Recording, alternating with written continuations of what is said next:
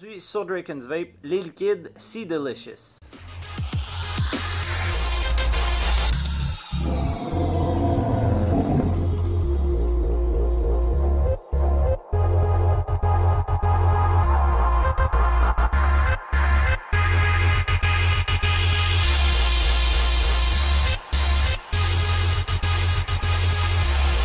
Oh! Hey, salut tout le monde!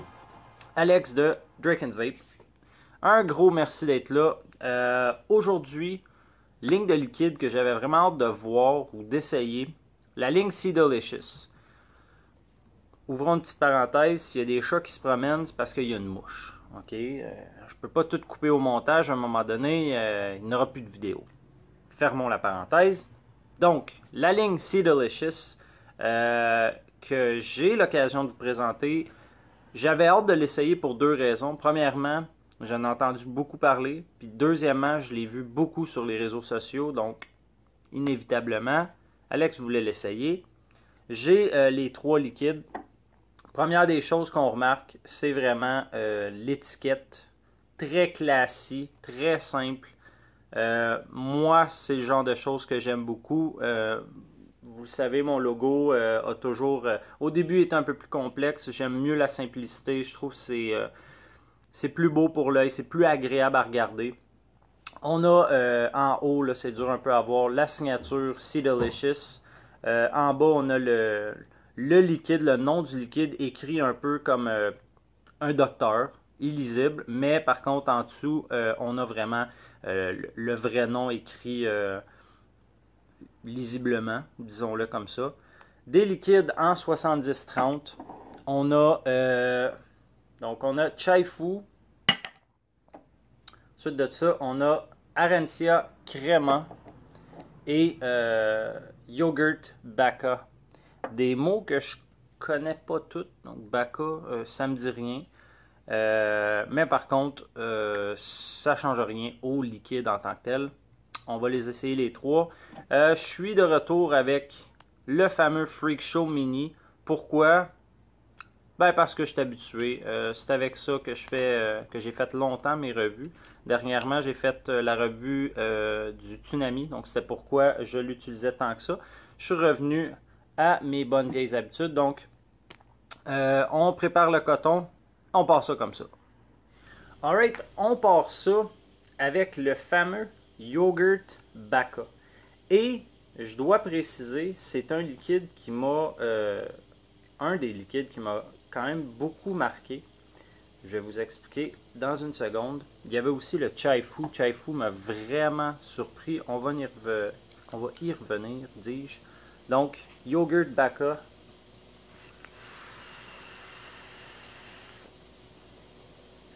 Un peu plus de chaleur, s'il vous plaît.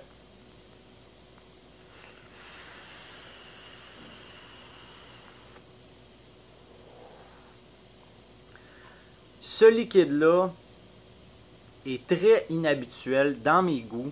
Euh, c'est vraiment la première fois que je goûte n'importe quoi qui s'apparente à ça. J'avais jamais goûté ça avant.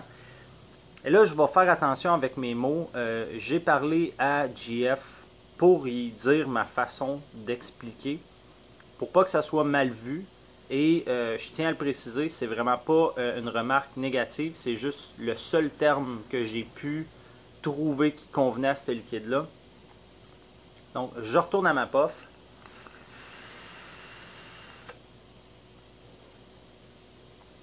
À l'inhalation, moi je goûte beaucoup le yogourt. Mais là, c'est pas n'importe quel yogourt. Pensez pas au petit yogourt euh, commercial qu'on connaît, euh, ultra sucré, qui goûte presque rien euh, au niveau du, du lait ou de la crème ou du fromage, si on veut, dépendamment des yogourts. Ça goûte à la base, donc à l'inhalation, le lactose fermenté. Vous voyez, le terme, hein, il peut paraître négatif, mais c'est pas négatif du tout. Ça goûte le yogourt bio, de qualité, euh, yogourt grec. Et c'est le goût que j'ai remarqué. Il a fallu que je parle avec parce que je reconnaissais le goût, mais j'avais pas de référence parce que je mange pas de, de yogourt grec ou presque pas. Et c'est exactement ça que ça goûte. Vraiment un, euh, yogourt vanille euh, grec, bio, sans agent de conservation. Ça goûte vraiment ce que ça devrait goûter. C'est particulier, euh, je l'admets, c'est vraiment spécial. Et à l'exhale, on va avoir des notes de, fruits. C'est dur à distinguer exactement c'est quoi.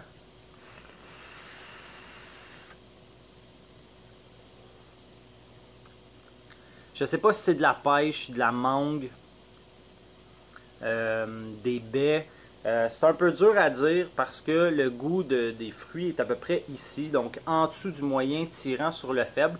C'est le fun parce que justement, c'est pas trop fort pour venir par-dessus le goût euh, du yogourt. Si vous êtes amateur de, de, de, yogourt grec, ça serait de valeur de vraiment le couvrir d'un goût sucré, trop puissant de fruits. Moi, c'est ce que je vois. Donc, euh, à l'inhalation et en fin de bouche, vraiment après l'exhale, en fin, fin, fin, on va avoir une deuxième fois le goût du yogourt grec qui va revenir dans le palais mou, euh, qui est un goût, je dirais, pas mal au centre, donc moyen, yogourt grec au début, à la fin, et euh, entre les deux, si on veut, à l'exhale, juste avant la fin, on va avoir un goût de fruits exotiques, peut-être pêche, peut-être mangue avec des baies, moi, c'est ce que je goûte. Je le dirais comme ça. Le prochain liquide, donc Arancia Crema. J'aimerais ça savoir qu'est-ce que ça veut dire Arancia. Si vous avez le détail, gênez-vous pas. de repérer ça dans les commentaires. Je vais me coucher plus intelligent au moment où ce que vous allez écouter la revue. Donc Arancia Crema, on y va comme ça.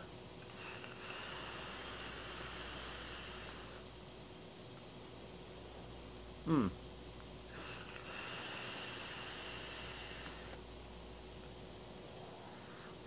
OK. Euh, lui, je l'ai vapé un peu déjà. Euh, en tant qu'en dripper, euh, c'est bien. Je préfère en dripper. en tank avec un bon build, je vais y aller avec un DDSM juste pour la flavor. Quelque chose de pas trop chaud. même possiblement, comme je disais, euh, dans un Jenny, peut-être. Euh, quelque chose de vraiment flavor dans le tapis. Arancia Crema, on a euh, tout de suite en avant-plan qu'est-ce qui, qui va nous marquer le plus. Je pense que c'est le goût d'orange et peut-être de citron. Je me trompe peut-être.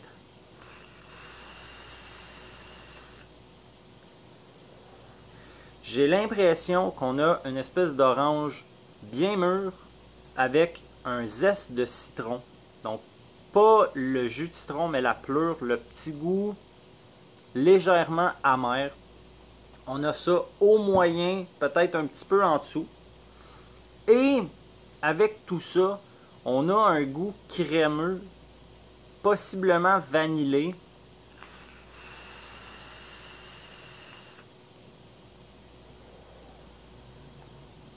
Vanillé légèrement custard, pas beaucoup. Euh, honnêtement, je pense que la combinaison aurait été très bien en soi. J'aurais pris, moi personnellement, une touche plus prononcée de, de custard parce que j'adore la custard. J'ai jamais goûté une custard à l'orange. Donc, c'est un orange euh, mûr, zeste de citron. En dessous de ça, plus au faible qu'au moyen. On a un goût crémeux, légèrement vanillé, touche custard. Je pense que ça résume bien la chose. Pour compléter cette revue des liquides Sea Delicious, on termine ça avec Chai Fu. Chai Fu. Je pense que on le sait un peu à quoi s'attendre. Un thé chai.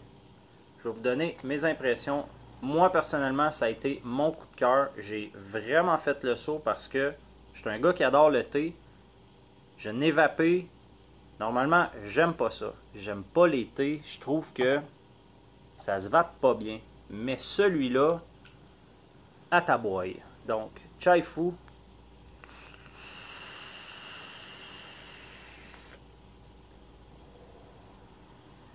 Wow!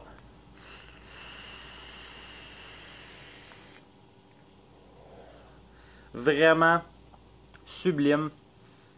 C'est un thé pas n'importe quel thé. C'est pas un thé euh, Lipton, un thé vert simple. C'est moi je pense, j'ai pas les détails exacts et euh, vous me connaissez, j'aime pas trop connaître le liquide avant de l'essayer. Je veux pas dire qu'est-ce qu'on me dit. Je l'essaye, je donne mon impression et je m'en tiens à ça. Je trouve que ça goûte le thé noir. Mais un thé noir tout seul, ça serait trop puissant, ça serait trop amer ou aigre. Moi, ce que je goûte, c'est un thé noir légèrement épicé.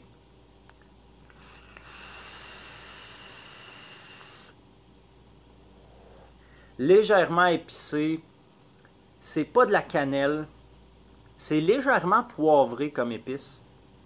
Mais pour couper le goût amer du thé noir, je goûte littéralement là, un lait. ok? Il y a peu de gens que je connais qui font ça, mais il y a quand même certaines personnes qui vont prendre leur thé, mettre une petite cuillerée de lait et ou de sucre pour venir couper le goût euh, peut-être dérangeant d'un thé noir ou d'un thé trop prononcé.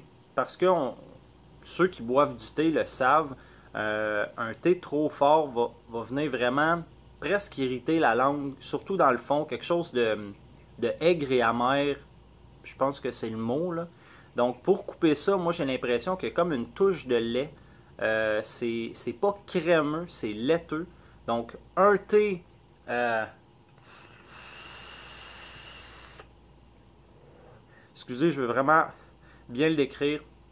Un thé qui va être en dessous du moyen, avec euh, des petites épices, quelque chose de poivré légèrement, avec, pour couper le goût amer, un petit lait, juste une petite touche de lait, euh, qui va être euh, en dessous du moyen aussi. Ça fait vraiment un tout.